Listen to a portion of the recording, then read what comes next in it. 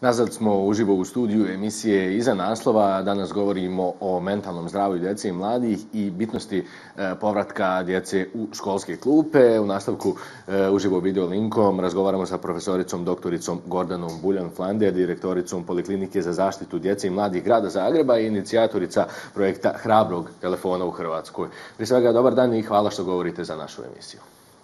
Dobar dan, hvala na pozivu.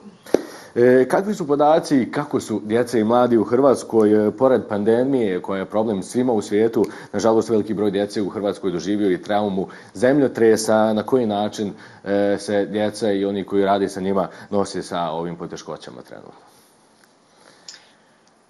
Mi od početka pandemije zaista imamo povećani pritisak poziva i dolazaka roditelja s djecom, posebno nakon potresa, jer osim toga što žive u stanju produljenog stresa kao i sva druga djeca na svijetu, naša djeca još koja su izravno doživjela potres imaju dodatne teškoće poput separacijskih strahova, ne žele se odvojiti od roditelja, imaju teškoće spavanja, imaju smetnje ili povećani apetit ili smanjeni apetit, trbuhobolje, glavobolje, a već same posljedice pandemije su bile te da su se djeca bojala da će oboljeti oni ili njihovi bliski članovi obitelji, povećana anksioznost, povećana depresivnost i zato smo mi već u četvrtom mjesecu osnovali povjerenstvo za zaštitu mentalnog zdravlja djece i mladih grada Zagreba gdje smo već tad počeli raditi na otpornosti djece i mladih, a sad je upravo u tijeku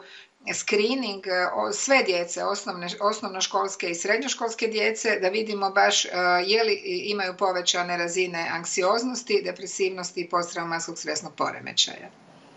E, čujemo često kako trebamo slušati djecu ono što govore i šta ih muči i što je bitnije šta kriju i šta nemaju hrabrosti izgovoriti i savjet za roditelje kako je najbolje prepoznati da djecu nešto muči i da su u problemu i kako ostvariti prvi kontakt i razgovor o problemu.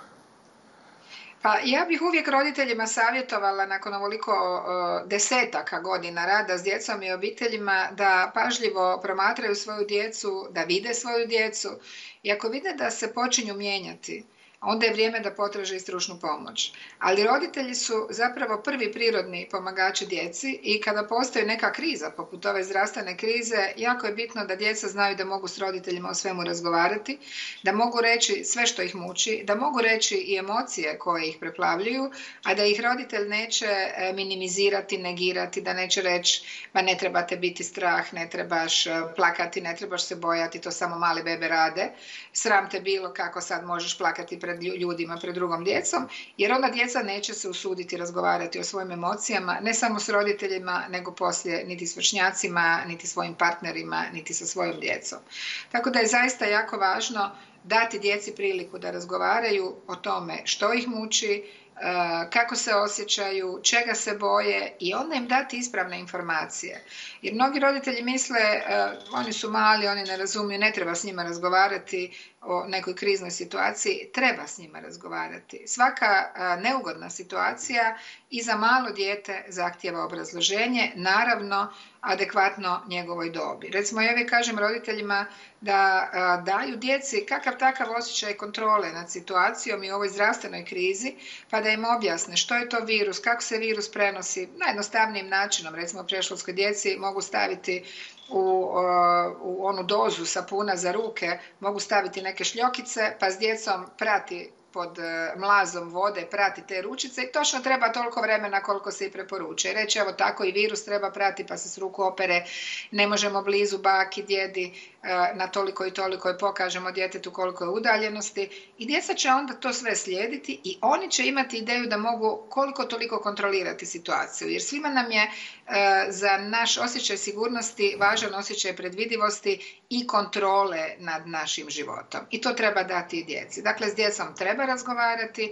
dozvoliti im da kažu što ih muči, vidjeti što znaju o pandemiji, objasniti im ako nešto je potrebno im objasniti ako imaju pogrešne informacije, sa starijom djecom zajedno gledati informacije iz provjerenih izvora i ono što ja stalno molim roditelje, nemojte stalno gledati vijesti, nemojte da vam stalno televizija bude upaljena i da djeca u pozadini slušaju koliko ih umrlo, koliko ih oboljelo, jer to će njima biti e, dodatna trauma da stalno slušaju ono što je negativno, ono što ih plaši i ono što im je neka prijeteća opasnost. Dovoljno je jedan do dva puta dnevno pogledati vijesti, sa starijom djecom pogledati na portalima ili i na društvenim mrežama, u krajnjoj liniji ako djeca su na društvenim mrežama, ali provjerene informacije, ali ne 5, 6, 7, 10 puta. E, čuli smo za tezu da veliki broj djece koji je trpio nasilje i prije pandemije u svojim kućama zapravo je školu doživljavalo kao bijeg od nasilnika. E, koliko su ova djeca vidljiva u društvu, da li se iko bavi njima i mogu li se njihovi problemi e, riješiti na bilo koji način dok ovako ova situacija postoji i teče takva kakva jeste uslijed pandemije koronavirusa? Hvala vam na tom pitanju, jer ovo je vrlo važan aspekt, e, posebno što se tiče djece i obitelji u pandemiji, jer e, dok postoji e, fizička izolacija, postoji nažalost onda i socijalna. Djeca koja su izložena nasilju nemaju gdje potražiti pomoć, a s druge strane, pošto se ta djeca ne usude govoriti o traumama koje doživljavaju unutar četiri zida u svojoj obitelji, nema osoba koje to mogu vidjeti. Ako ne idu u školu, onda nastavnik ne može vidjeti. Ako ne ide u vrtić, odgajatelj ne može vidjeti. Ako ne ide na slobodne aktivnosti, trener ne može vidjeti i ne može reagirati. Ja sam upravo zbog toga pitala MUP Hrvatske da mi e, da podatke e, u, u nasilje nad djecom u 2020. u odnosu na 2019. Povećano je nasilje 43%, za 43% što me ne čudi jer su zapravo žrtve djeca zatvorena sa svojim zlostavljačima, ne usudi se nazvati ni na telefon SOS linije za pomoć djeci i tu se moramo osloniti na ljude koji su blizu, na susjede, na rodbinu, na nezlostavljajućeg roditelja. Mi smo imali jednu sjajnu kampanju proljeće tražili, molili, apelirali na ljude koji znaju da se iza tih rata nešto događa, da reagiraju. Jer e, mi smo ti koji moramo biti glas e, zlostavljane djece, djece koja su izložena nasilju u obitelji. Ja bih još dodala da su djeca izložena i seksualnom zlostavljanju, puno više nego što je to bilo prije pandemije, prije zdravstvene krize, jer su e, jako, jako puno vremena pred malim ekranima i e, tu zapravo imaju i previše prilike doći u kontakt sa seksualnim zlostavljačima, a seksualni zlostavljači djece, pošto ne mogu putovati, granice su zatvorene i oni zapravo traže djecu putem malih ekrana, odnosno e, modernih tehnologija. I e, sve institucije koje se bave zaštitom djece u svijetu izražavaju zabrinutost za povećano obiteljsko nasilje u pandemiji i povećano seksualno zlostavljanje djece.